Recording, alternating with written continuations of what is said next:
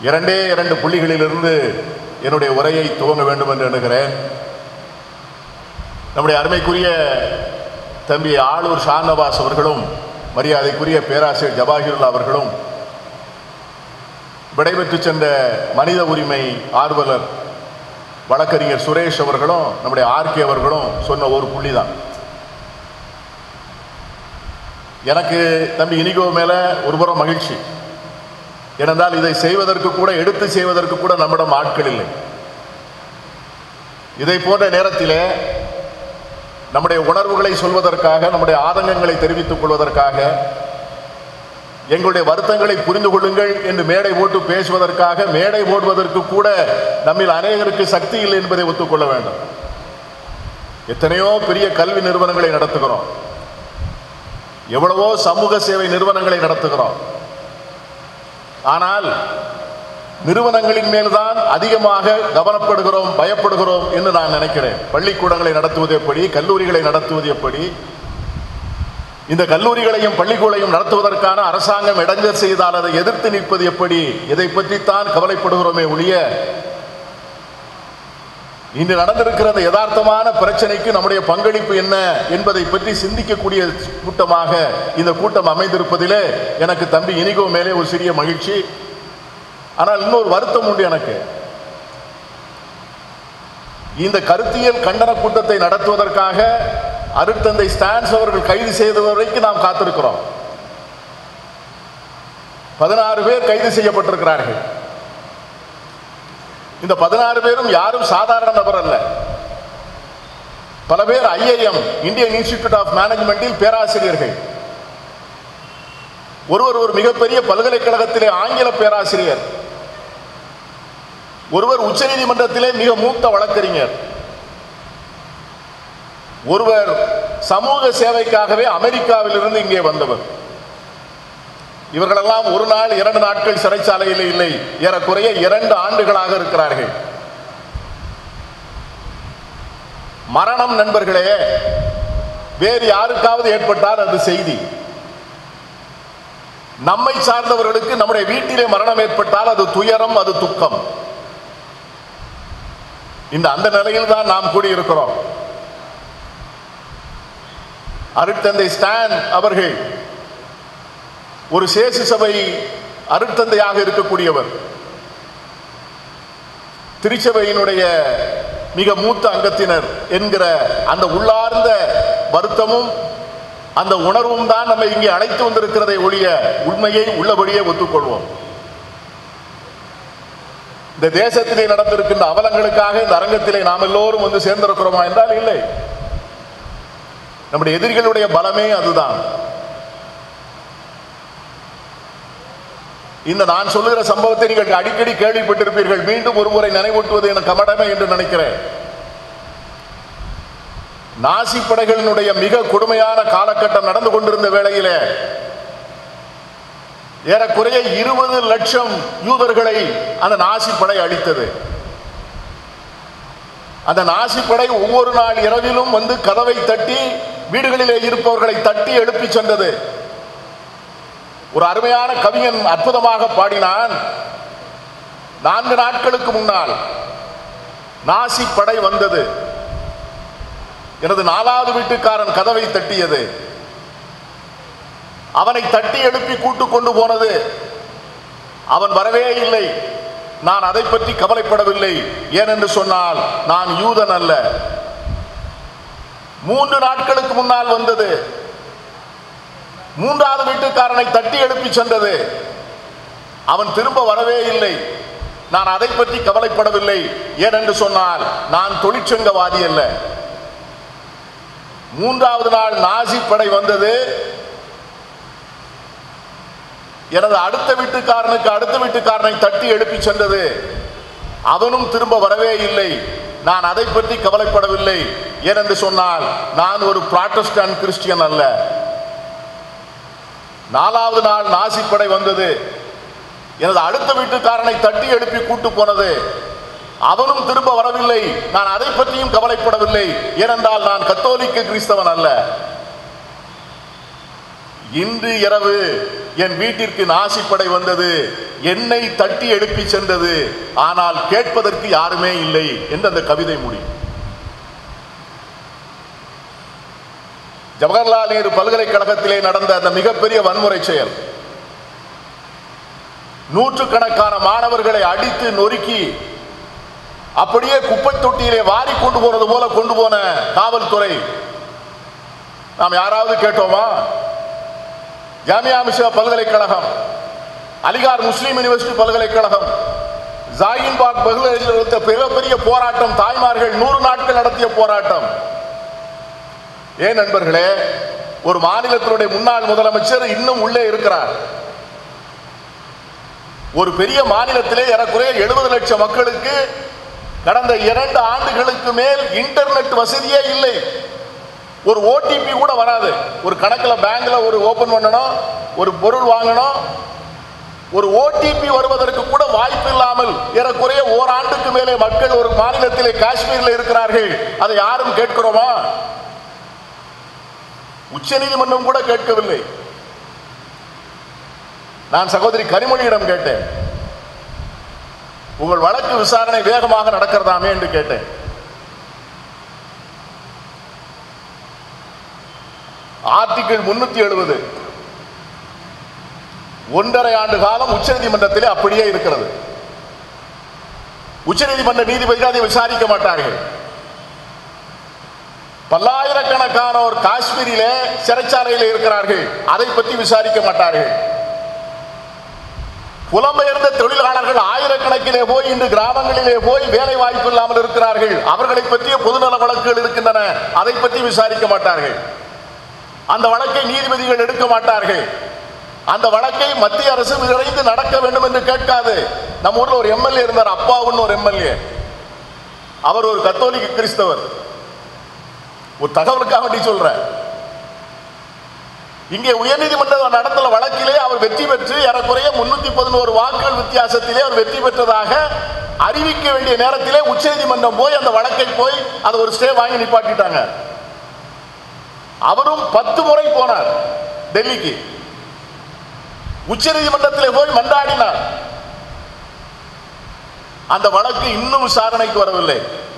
ஆனால் கீழமை நீதிமன்றம் குற்றவாளி இல்லை என்று தீர்ப்பு சொன்ன பிறகு பல்வேறு ஆராய்ச்சிகளும் பல்வேறு அறிக்கைகளும் எந்த விதமான தவறுகளும் நடக்கவில்லை என்று நிரூபித்த பிறகு இந்த வழக்கை திறந்தோறும் நடத்த வேண்டும் என்று அந்த நீதிமன்றத்திலே மத்திய அரசு கேட்டு அதற்காக வாதாடி அந்த உத்தரவை பெறுகிறது என்று சொன்னால் அந்த அரசுக்கு என்ன பிரையாரிட்டி அதையெல்லாம் கேட்க வேண்டுங்கிற பொது தளத்துக்கு நாம் எல்லோரும் வர வேண்டும். பேராசிரியர் ஜவஹர்லா சொன்னார் பெரிய ஆட்களை திரட்டி போராட்ட வேண்டாம். உண்மை. நான் ஒன்று கேட்கிறேன் பேராசிரியருக்கு ஒரு பத்து நாட்களுக்கு முன்னால் நம்முடைய தொலைக்காட்சியிலே ஒரு வர பெரிய விளம்பரம் வந்தது. நீங்க பார்த்திருப்பீங்கன்னு நினைக்கிறேன்.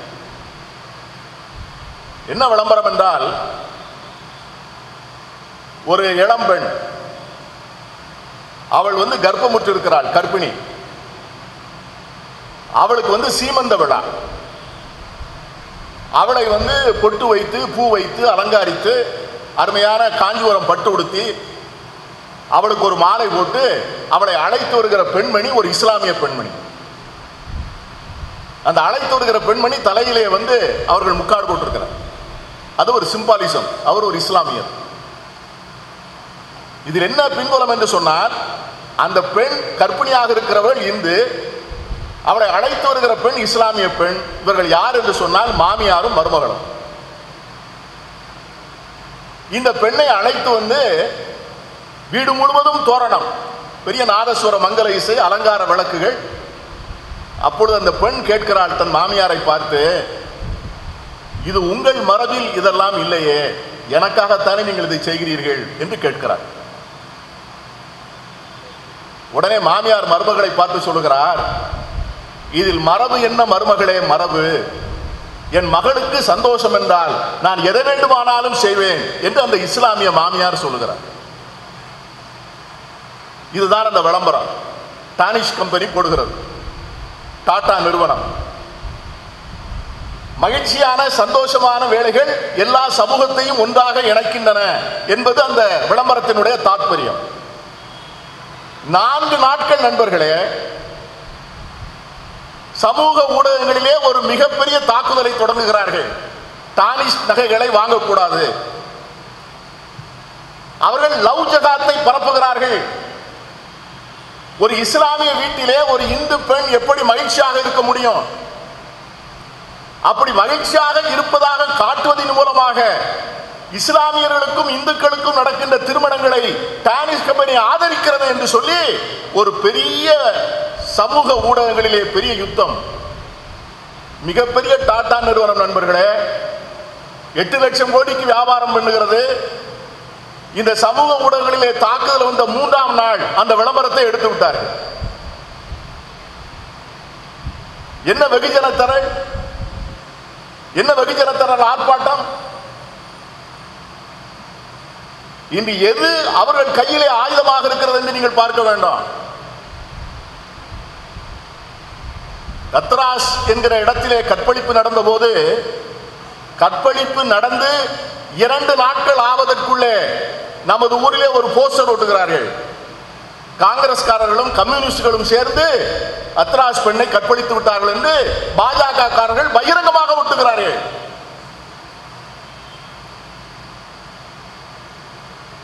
அங்கே ஆயிரக்கணக்கான பத்திரிகை நிருபர்கள் போகிறார்கள். அந்த ஆயிரக்கணக்கான பத்திரிகை நிருபர்கள் போனவர்களிலே யார் இஸ்லாமியர்கள் என்று பார்த்து அதிலே மூன்று பத்திரிகை நிருபர்களை எடுத்து அவர்கள் அங்கே தீவிரவாதத்தை தூண்டுவதற்காக வருகிறார்கள் என்று அவர்கள் மீது வழக்கு போடுகிறார்கள். அருமையாக சொன்னார் ஃபாதர் ஸ்டான். எனது கைதுக்காக தயவு செய்து யாரும் வருத்தப்பட வேண்டாம். ஆனால் நான் கைது செய்யப்படுவதற்கு காரணமாக இருக்கிற இந்த சிஸ்டம் இந்த அமைப்பின் மேல் கோவப்படுங்கள் என்று சொன்னார். இதை விட ஒரு பெரிய வார்த்தை இருக்க முடியாது. இது அருமையான தத்துவம் என்று நான் எண்ணுகிறேன். கத்தோலிக்க பாதிரியார்களுக்கு இதை போன்ற சம்பவங்கள் வருவதோ இந்த நெருக்கடிகளை ஏற்றுக்கொள்வதோ அவர்கள் வாழ்க்கையில ஏற்றுக்கொண்டிருக்கின்ற வழிமுறை. இதையெல்லாம் பார்த்து ரெண்டாயிரம் ஆண்டுகளுக்கு முன்னால் ரொம்ப தெளிவாக சொல்லியிருக்கிறார். எங்கே வைத்தியருக்கு வேலை என்று சொன்னால் எங்கே நோயாளி இருக்கிறானோ அங்கேதான் வைத்தியர் இருக்க வேண்டும் என்று சொல்லுகிறார் நமது ஆண்டவர். ஆகவே அதைத்தான் பின்பற்றி இருக்கிறார் அழுத்தந்தை ஸ்டான். அந்த மலைவாழ் மக்கள் மத்தியிலே போய் ஒரு குடிசையிலே போய் குடியிருக்கிறார். நாற்பது ஆண்டுகள் இருக்கிறார். நண்பர் தானூர் சானவாஸ் ஒரு அருமையான கருத்தை சொன்னார். இது வெறுமனே இந்த கைது மட்டும் என்பது மட்டும் பிரச்சனை அல்ல. இதற்குள்ள அந்த மாநிலத்தினுடைய முதலமைச்சர் பொங்கி குமுறி இருக்கிறார். ஹேமந்த் சோரன். யாரை கேட்டு கைது செய்தீர்கள்? நான் சான்றிதழ் தருகிறேன். ஒரு அற்புதமான அருமையான சமூக போராடி ஒடுக்கப்பட்ட விளிம்புநிலை மக்களுக்காக வாழ்க்கை முழுவதும் அர்ப்பணித்துக் கொண்ட ஒரு அருமையான உண்மையான துறவி. யாரு துறவி? பற்றத்தான் பற்றுக பற்றின என்று சொன்னதை போல விருப்பு வெறுப்பற்று சேவையே என் மதம் சேவையே என் வாழ்க்கை என்று வாழ்ந்த ஒரு அற்புதமான ஒரு துறவி என்று அந்த மாநிலத்துடைய முதலமைச்சர் சான்றிதழ் கொடுக்கிறார். நான் கேட்கிறேன் ஒரு மாநிலத்தினுடைய முதலமைச்சர் காவல்துறை இருக்கிறது டிஜிபி இருக்கிறது உளவுத்துறை இருக்கிறது அந்த மாநிலத்தினுடைய ஒவ்வொரு காலகட்டத்திலும் பல்வேறு கட்டங்களிலே அவருடைய வாழ்க்கையோடு தொடர்பு கொண்ட அரசாங்கம் இருக்கிறது. அந்த அரசாங்கத்திற்கு தெரியாமல் டெல்லியில் இருக்கக்கூடிய ஒருவருக்கு இவர் தீவிரவாதி இவர் மாவோயிஸ்ட் தெரிந்து விடுமா? நம்மை சுற்றி பின்னப்பட்டிருக்கின்ற வலை என்பது மிகவும் ஆபத்தான வலை. இங்கே வந்து நம்ம ரொம்ப கவனமாக இருக்க வேண்டாம். பொது தொண்டுக்கு வருகின்றவர்களே மிக குறைந்து போன காலம் நண்பர்களே. பொது தொண்டுக்கு வருகின்றவர்கள் மிக மிக குறைவு. இந்த கொரோனா நேரத்திலே இந்த மாலை நேரத்திலே ஒரு சமூக உணர்வோடு நானூறு பேர் வந்து உட்கார்ந்து இருக்கிறோம் ஒன்றரை கோடி மக்கள் வாழுகிற சென்னையிலே. சமூகத்தை பற்றியும் அதிலும் குறிப்பாக சமூகத்தின் அடித்தட்டு மக்களை பற்றி சிந்திக்கின்றவர்கள் மிக மிக குறைவு. சமூக சேவைக்கு வருகின்றவர்கள் எதிர்பார்ப்பு இல்லாமல் வருகிறவர்கள் அதை விட மிகவும் குறைவு. நான் இருக்கிறேன். என் சட்டமன்ற தொகுதியில் போய் பணியாற்றுகிறேன் என்று சொன்னால் நாளைக்கு தேர்தலில் நிற்பேன். அவர்கள் எனக்கு வாக்களிப்பார்கள் என்கிற எதிர்பார்ப்போடு. சகோதரி கனிமொழி இருக்கிறார். தூத்துக்குடிக்கு காலையிலும் மாலையிலும் போய் வருகிறார். எதற்காக போய் வருகிறார் என்று சொன்னால் வாக்களித்த மக்களுக்கு தன் கடமையை செய்வதற்காக போகிறார். ஆனால் அருட்தந்தை ஸ்டான் அவர்கள் தேர்தலில் நிற்கவும் இல்லை நிற்க போவதும் இல்லை அவருக்கு வாக்காளர்களும் இல்லை அவருக்கு வேண்டியதெல்லாம் சமூக நீதி கிடைக்க வேண்டும் என்கிற அந்த உந்துதல். அப்படி உந்துதல் உள்ள ஆட்களே not not not one percent. அவர்களையும் காவு கொள்கிற அரசாங்கம் இந்த அரசாங்கம் இருப்பதுதான் நமக்கு ஏற்பட்டிருக்கிற மிகப்பெரிய சோகம். அன்னை தெரசா அவர்களை பற்றி ஜோதிபாஸ் அவர்கள் முதலமைச்சராக இருக்கின்ற போது நம்முடைய இடதுசாரி கம்யூனிஸ்ட் கட்சி தோழர்கள் போய் அவரிடம் போய் புகார் சொன்னார்கள். இந்த அம்மையார் மதம் மாற்றுவதைப் போல தெரிகிறது. இவர் பணிகளை தடை செய்ய வேண்டும் என்று சொன்னார்கள். ஜோதிபாஸ் என்ன சொன்னார் தெரியுமா? தடை செய்யலாம். உங்களில் என்று நீங்கள் தயாராகி சாலையோரம் இருக்கின்ற பெருநோயாளியை தொழுநோயாளியை நீங்கள் என்று தொட்டு துடைத்து குணமாக்கி தூக்கி முதுகிலே போட்டு கன்னத்திலே நீங்கள் முத்தமிடுகிறீர்களோ அன்றைக்கு நான் அன்னை தரைசாமி வெளியே போக சொல்லுகிறேன் என்று சொன்னார்.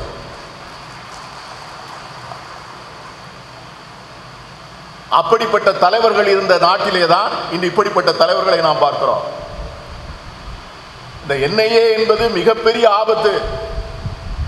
இந்த வழக்கை பாஜக அரசாங்கம் மகாராஷ்டிராவிலே இருக்கிற வரை பட்னாவிஸ் முதலமைச்சராக இருக்கிற வரை அந்த மாநில அரசாங்கம் தான் அதை விசாரித்தது. என்றைக்கு வந்து பட்னாவிஸ் அரசாங்கம் மாறியதோ மாறிய மறுநாளே இந்த வழக்கை மத்திய அரசு தேசிய புலனாய்வு துறைக்கு கொண்டு போய் விட்டது. ஆகவே இந்த தேசிய புலனாய்வுத்துறை என்பது எப்படி இருக்கிறது என்று சொன்னால் நீங்க எல்லாம் பார்த்திருப்பீங்க. ஒரு பத்து நாள் தொலைக்காட்சியில பத்து நாள் அல்ல ஒரு மாதம் ஒன்றரை மாதம் மாலை நேரத்திலே சுஷாந்த் சிங் ராஜ்பூட் என்று ஒரு திரைப்பட நடிகர் தற்கொலை செய்து கொண்டார் அவருடைய காதலி. அந்த பெண்ணை வைத்து ஒன்றரை மாதம் ஓட்டினார்கள் தொலைக்காட்சிகளை. என்ன நடந்திருக்கிறது என்று சொன்னால் இன்றைக்கு வந்து மிகப்பெரிய தேசிய போரன்சிக் லேபரட்டரி அது தற்கொலை என்று சொல்லிவிட்டது. இப்பொழுது திரைப்பட துறையிலே இருக்கின்ற அத்தனை பேர் மீதும் கஞ்சா பயன்படுத்தினார்கள் என்கிற வழக்கை யார் நடத்துகிறார்கள் என்று சொன்னால் இது உள்ளூர் போலீஸ் ஸ்டேஷன் அல்ல உள்ளூர் மதுவிலக்கு போலீசார் அல்ல தேசிய தேசிய நர்காட்டிக்ஸ் பியூரோ அவர்கள் எதற்காக இருக்கிறார்கள் என்று சொன்னால் கப்பல்களிலே டன் டன்னாக வருகின்ற போதை மருந்துகள் விமான நிலையங்களிலே வந்து இறங்குகிற போதை மருந்துகள் பல்லாயிரக்கணக்கான கோடி வருமான போதை மருந்துகளினுடைய கடத்தலை தடுப்பதற்காக இருக்கிற நிறுவனம் சாலையோரங்களிலே ஒரு துண்டு கஞ்சாவை கசக்கி அதை நுகர்ந்து பார்க்கிறவனை கைது செய்து அதை பிரம்மாண்டமான செய்தியாக்கி இருபத்தி நாலு மணி நேரமும் தொலைக்காட்சி வாதங்களை அளவைகளே ஆக்கிரமித்து மக்களை இந்த கோர் இஷ்யூஸ் அடிப்படையான பிரச்சனைகளை பற்றி சிந்திப்பதற்கு விடாமல் நம்மை இழுத்துச் செல்லுகிற ஒரு அரசாங்கம் பின்னி இருக்கிற ஒரு மிகப்பெரிய சதிவலை. ஆகவேதான் இதை பற்றிய தெளிவும் புரிதலும் நமக்கு மிகவும் அவசியம். நான் உங்களை எல்லோரும் மிக பெண்போடு கேட்டுக்கொள்வேன். எல்லோரும் பெருந்திரள் ஆர்ப்பாட்டத்திற்கு அழைத்தால் கூட எத்தனை பேர் வருவீர்கள் என்று எனக்கு தெரியும். நாங்களே ஆர்ப்பாட்டத்திற்கு அழைக்கின்ற போது என் நண்பர்கள்லாம் அங்கே வந்திருக்காங்க. நம்ம தரணி கிரணி எல்லாரும் நம்ம சகோதரர்கள்லாம். ஒரு ஐநூறு பேர் இருப்போம். போலீஸார் சாயங்காலம் விட்டுருவாங்கன்னா மத்தியானம் சாப்பாட்டுக்கு முந்நூறு பேர் இருப்போம். சாயங்காலம் வண்டியில போலீஸார் ஏத்த போறாங்க அப்படின்னா அந்த ஐநூறு நூறு ஆயிடும் சகோதரி கனிமொழி அவர்கள் ஒரு ஆயிரத்தி ஐநூறு பேரை போய் அரெஸ்ட் ஆனாங்க இப்போ. ஆனா எல்லாருக்கும் தெரியும் சாயங்காலம் விட்டுருவாங்கன்னு. எத்தனை பேர் தயாராக இருப்போம்னு எனக்கு தெரியாது. ஆனால் நான் உங்களை மிக பணிவோடு கேட்டுக்கொள்வேன். எல்லோரும் சமூக ஊடகங்களிலே பங்கேற்கம் செய்யுங்கள். எல்லோரும் வாட்ஸ்அப்பில் இணையுங்கள். எல்லோரும் ட்விட்டர் அக்கவுண்டில் இணையுங்கள். எல்லோரும் ஃபேஸ்புக்கில் இணையுங்கள். இன்று அவைகள் தான் ஆயுதங்கள். ஒரு கருத்தியல் உற்பத்தியாவதும் ஒரு கருத்தியலை ஒரு மீறிய இயக்கமாக நடத்துவதும் அதை அரசாங்கத்திற்கு மிகப்பெரிய நெருக்கடியாக கொடுப்பதற்கும் இந்த ஆயுதங்களைத்தான் இன்று பாஜக இரண்டாயிரத்தி பதினாலிலே பயன்படுத்தியது இரண்டாயிரத்தி பத்தொன்பதிலே பயன்படுத்தியது. இன்றும் பல இயக்கங்களை நீர்த்து போக செய்வதற்கு அதனுடைய முறையான வெளிப்பாடுகள் வெளியே வராமல் இருப்பதற்கு என்ன நடக்கிறது என்று சொன்னால் இந்த சமூக ஊடகங்களிலே பரிமாறப்படுகின்ற செய்திகள் தான். ஒரு ஒரு மாநிலத்திற்கு ஏறக்குறைய பத்தாயிரம் குழுக்கள் வைத்திருக்கிறார்கள். ஒரு குழுவிலே இருநூறு பேர் உறுப்பினர். காலையிலே டெல்லியில இருந்து ஒரு செய்தியை கொடுத்து விட்டால் மாலை ஐந்து மணிக்குள் கன்னியாகுமரியில் இருக்கிற சிறிய கிராமங்களிலே கூட அந்த செய்தி முழுமையாக பரவிவிடும். நான் ட்விட்டர்ல காலையில் ஒரு செய்தி போடுவேன். அந்த ட்விட்டர்ல போடுகிற செய்தி மூன்றே நிமிடத்திலே அவர்களை சார்ந்தவர்கள் அப்படியே வந்து கடிக்க ஓடி வருவார்கள். நீ என்ன யோகியனா? நேருவை பற்றி உனக்கு தெரியுமா? அவர் ஒரு இஸ்லாமியர். அவர்தான் இந்த நாட்டை கெடுத்தார். காந்தி இந்த நாட்டை கெடுத்தார். இதையெல்லாம் யார் செய்வார்கள் என்று சொன்னால் நமக்கே முகவரி தெரியாத மனிதர்கள் ஆயிரக்கணக்கிலே அந்த ஊடகங்களிலே இருக்கிறார்கள். மக்கள் மனதுகளை சலவை செய்கிறார்கள். உண்மையான பிரச்சனைகளை இருட்டடிப்பு செய்கிறார்கள். இந்த நாட்டில் என்ன நடக்கிறது என்பது தெரியாமல் அந்த மக்களை திசை திருப்புகிறார்கள் இன்று அருட்தந்தை லூர்சாமி அவர்களுடைய இந்த கைது என்பது நமக்கு ஒரு பொறி. இட்ஸ் எ ஸ்பார்க் நம்ம எல்லோரையும் இங்கே ஒரு தளத்திலே சேர்த்திருக்கிறது. இந்த ஸ்பார்க் என்பது பாரதியார் பாடுவார் அக்கினி குஞ்சொன்று கண்டேன். ஒரு சிறிய அக்குனி குஞ்சு அது பெருந்தியாக பரவியது என்று சொல்லுவார். அது நாளாக நாளாக வெடித்து பரம்ப வேண்டும். இன்றைக்கு ஒடுக்கப்பட்ட மக்கள் விளிம்பு நிலை மக்கள் எங்கள் தலைவர் ராகுல் காந்தி அவர்கள் அருமையாக சொன்னார்கள் இந்த அரசாங்கத்தை பொறுத்தவரை பட்டியலின மக்கள் மலைவாழ் மக்கள் பெண்கள் சிறுபான்மையினர் இவர்களெல்லாம் மனிதர்களே இல்லை அவ்வளவுதான். They are not human beings they have no political existence ஒரு அருமையான ரசவாத வித்தையை கண்டுபிடித்து வைத்திருக்கிறார்கள் நண்பர்களே ஐம்பத்தோரு விழுக்காடு வாக்கு வங்கி தான் அவர்களுடைய இலக்கு. 51% ஒன் பர்சன்ட் ஆஃப் ஓட்ஸ் நாற்பத்தொன்பது பர்சன்ட் பற்றி அவர்கள் கவலைப்படவில்லை. அது மட்டுமல்ல இந்த நாற்பத்தொன்பது விழுக்காடும் ஓட்டு எங்களுக்கு போடக்கூடாது என்று சொல்கிறார்கள். ஏனென்று சொன்னால் இவர்களை எதிரிகளாக காண்பித்துத்தான் அவர்கள் வாக்கு வங்கிகளை உருவாக்கி வைத்திருக்கிறார்கள். ஐம்பத்தோரு விழுக்காடு வாக்குகள் வாங்கினாலே முன்னூத்தி எழுபது எண்பது இடங்கள் பாராளுமன்றத்திலே வந்துவிடும். தலித் ஓட்டுகள் வேண்டாம். மலைவாழ் மக்கள் ஓட்டு வேண்டாம். சிறுபான்மை மக்கள் ஓட்டு வேண்டாம். பெண்கள் ஓட்டு வேண்டாம். இது போக முப்பத்தாறு முப்பத்தி ஏழு விழுக்காடு வாக்கு போலிங் ஆகிற ஓட்டில் வாங்கினா முன்னூத்தி அறுபத்தைந்து இடம் வந்துவிடும் ஒரு பெரிய ஆபத்து. சகோதரி கனிமொழி அவர்களை வைத்து சொல்லுகிறேன். அதையோடு முடித்து விடுகிறேன். இந்த கொரோனா நேரம் நம்ம எல்லாம் வாட்டி வதைக்கிற நேரம். எனக்கே நானே ஒரு பத்து தடவை கையை தொடச்சிருப்பேன். என் மைக்கை வந்து ஸ்டெரிலைஸ் பண்ணிட்டு இங்க வரும்போதே தம்பி இனிக்கோட்ட சொன்னேன் தம்பி வயசு எழுபதாச்சு என்னை பத்திரமா பார்த்துக்கிடுங்க. நான்லாம் இன்னும் கொஞ்ச நாள் நடமாடனா உங்களுக்குலாம் பெரிய பலம். அவர் சொல்லிட்டார் எங்களுக்குலாம் அண்ணன் வழிகாட்டியா இருக்காருன்னு நல்ல வழிகாட்டி உங்களை எல்லாத்தையும் கொண்டு ஏற்றி உட்கார வச்சிடும் கவலைப்படாதீங்க. இன்றைக்கு கொரோனா மத்திய அரசுக்கு மிகப்பெரிய வாய்ப்பு. அவர்கள் என்ன சட்டமெல்லாம் போட வேண்டும் என்று நினைத்தார்களோ அத்தனை சட்டத்தை போட்டு விட்டார்கள் ஏன்னா ஜனங்கள் வாழ்க்கைக்கு போராடி கொண்டிருக்கிறார்கள். வியாபார நிலையங்கள் அடைத்து கிடக்கிறது தொழிற்சாலைகள் மூடி கிடக்கிறது வேலை வாய்ப்புகள் இல்லை. அந்த நேரத்திலே உயிர் வாழ்வதற்கே போராடுகின்ற நேரம். மருத்துவமனைக்கு போனால் அஞ்சு லட்சம் பத்து லட்சம். இதில் வந்து யார் போராட்ட களத்துக்கு வருவார்கள்? ஆகவே இப்போ என்ன செய்கிறார்கள் என்று சொன்னால் இந்த நாட்டினுடைய கிரிமினல் ஆக்ட்ஸ் சட்டங்கள். Indian penal code criminal procedure code Indian evidence act இந்த மூணு சட்டம் தான் இந்த நாட்டிலே குற்றவாளிகளை எப்படி நடத்துவது குற்றங்களை யார் விசாரிப்பது குற்றங்களுக்கு என்ன தண்டனை கொடுப்பது என்று முடிவு செய்ய வேண்டும். இந்த சட்டத்தை உருவாக்குவதற்கு கிரிமினல் ப்ரொசீஜர் கோடை உருவாக்குவதற்கு பத்து ஆண்டுகள் அதை பற்றி விவாதம் நடந்திருக்கிறது. சட்டக்கல்லூரியிலே இதை சொல்லிக் கொடுப்பதற்கு நாலு செமஸ்டர் எடுக்கிறார்கள். ஆனால் என் அருமை நண்பர்களே மோடி அரசாங்கம் ஐந்து பேர் கொண்ட குழுவை அமைத்து ஆறு மாதத்திற்குள் அறிக்கை கேட்டு இந்த மூன்று சட்டங்களையும் முறையாக மாற்றி அமைத்து விடுவது என்கிற முடிவோடு வேலை செய்கிறது. அந்த ஐந்து பேரில் ஒருவர் கூட தாழ்த்தப்பட்டவர்கள் இல்லை. அந்த ஐந்து பேரில் ஒருவர் கூட பெண்கள் இல்லை. அந்த ஐந்து பேரில் ஒருவர் கூட தென் மாநிலங்களை சார்ந்தவர்களோ வடகிழக்கு மாநிலங்களை சார்ந்தவர்களோ இல்லை. அந்த ஐந்து பேரில் ஒருவர் கூட பிற்படுத்தப்பட்டவர்கள் இல்லை. இந்த ஐந்து பேர் எங்களை பாதிக்கக்கூடிய நாள்தோறும் சிறைச்சாலைக்குள்ளே போனால் சிறைக்குள்ளே இருக்கிறவர்கள் யார்? தலித் மக்கள் இருக்கிறார்கள் சிறுபான்மை மக்கள் இருக்கிறார்கள் ஏழைகள் இருக்கிறார்கள் பிற்படுத்தப்பட்ட மக்கள் இருக்கிறார்கள். எங்களை விசாரிக்க வேண்டிய சட்டம் எங்களுக்கு தண்டனை தர வேண்டிய சட்டம் எங்களுடைய எதிர்காலத்தை நிர்ணயிக்க வேண்டிய சட்டத்தை பற்றி எங்களை சார்ந்தவர்களுடைய கருத்தை கேட்காமல் யாரோ ஐந்து பேர் மேலாதிக்க சமூகத்தை சார்ந்தவர்கள் உட்கார்ந்து கொண்டு அந்த சட்டத்தை மாற்றி அமைத்து விட்டால் இப்பொழுதாவது சிறைக்கு அனுப்புவதற்கு தனி சட்டங்கள் தேவைப்படுகிறது. இந்த மூன்று சட்டங்களையும் அவர்கள் திருத்திவிட்டால் அதற்கு பிறகு இதை போன்ற தனி சட்டங்களே வேண்டாம். நம்முடைய இந்திய தண்டனை சட்டத்தின்படியே நம்ம எல்லோரையும் யார் வேண்டுமானாலும் கைது செய்ய முடியும். யார் வேண்டுமானாலும் சிறைக்கு அனுப்ப முடியும். ஒருவேளை நீதிமன்றங்களே இல்லாமல் காவல்துறையினரே வழக்கை விசாரித்து தண்டனை கொடுக்கக்கூடிய அதிசயமும் கூட இந்த சட்டங்களிலே நடக்கலாம். அவ்வளவு பெரிய ஆபத்தை நோக்கி போய் கொண்டிருக்கிறோம். ஆகவேதான் ஸ்டான் சுவாமியுடைய கைது நமக்கு சொல்லி இருக்கிற செய்தி என்னவென்று சொன்னால் அவர் தன்னை பற்றி கவலைப்பட சொல்லுவது. அவர் இந்த சிஸ்டத்தை பற்றி தான் கவலைப்பட சொல்லுகிறார். அந்த செய்தியை நீங்கள் எடுத்துக்கொள்ள வேண்டும் என்று கேட்டு இந்த நல்ல முயற்சி ஒருங்கிணைத்திருக்கிற தம்பி இனிகோ அவர்களை பாராட்டி உங்களுக்கெல்லாம் நன்றி சொல்லி விடைபெறுகிறேன். நன்றி.